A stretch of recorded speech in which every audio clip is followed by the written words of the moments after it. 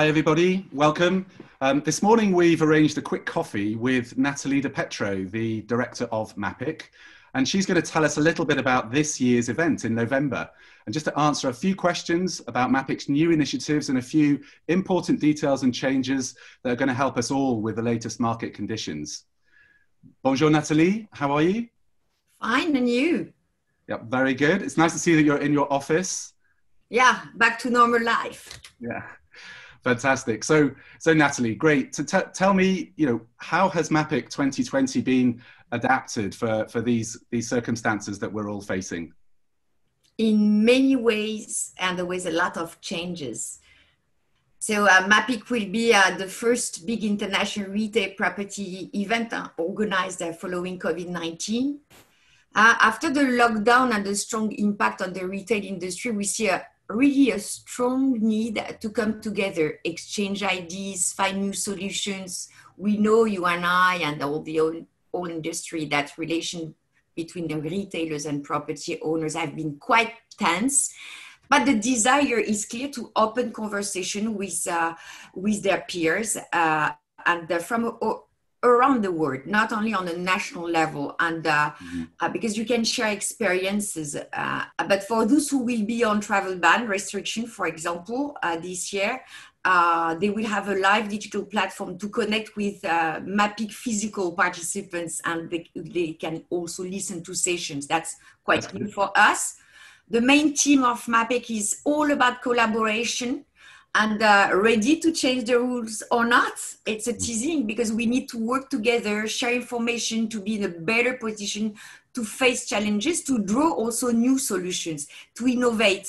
Uh, we need to see uh, retail as a service to create better place to live, play, and shop.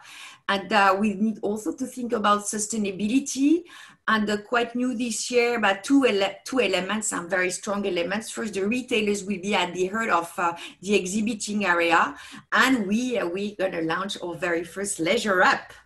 Ah, of course. The leisure. I was going to ask you about leisure up. So, tell me, you know, with with everything that's happening within the leisure industry today, the different headwinds that they're facing, you know, why why is now the right time to to support the retail and leisure um, aspect, the leisure aspects of of the industry?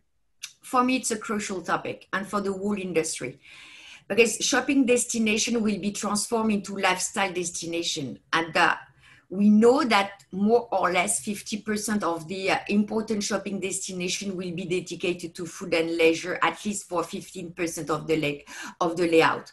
So it is the right time to create a, a real event that's going to be a show it's not a conference it's really a show with an exhibiting area uh, we want to highlight the importance of human contact and socialization greater than ever after months of confinement. Mm-hmm. Emotion and experiences that cannot be replicated online like uh, uh, gaming culture mm-hmm. climbing walls vr and uh, leisure up will be uh, at the same location than mapic at the palais des festivals riviera 8 and the same dates yeah i remember the i remember the very first leisure up last year uh, it was a huge success for the first year so i know that there'll be many many people looking to uh, to join that again this year.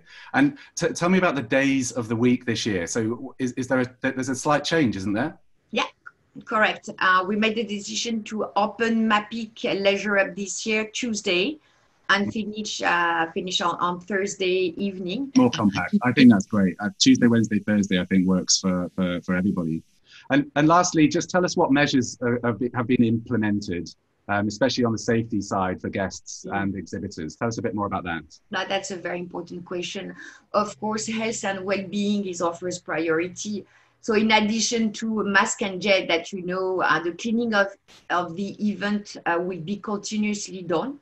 We're going to keep sanitary distances uh, inside the conference room, on the networking location, inside the lounges, we're going to adapt and have flexible event opening hours. We're going to multiply and repeat the conference sessions. Mm. And of course, we're going to have a one way traffic inside the Palais, which is also mm. very important. So, priority to be safe.